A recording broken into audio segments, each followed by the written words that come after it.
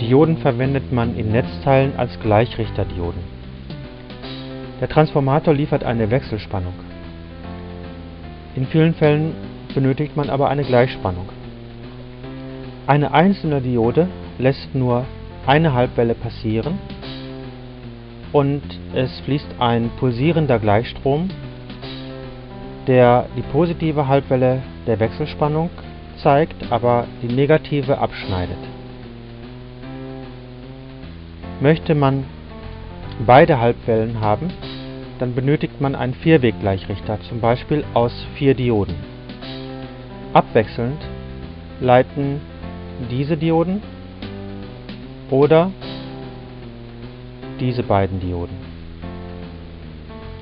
Der Vierweggleichrichter liefert bereits einen Gleichstrom, der nicht mehr unterbrochen wird, der aber immer noch stark wellig ist. Setzt man einen Siebkondensator ein, dann wird diese Welligkeit reduziert.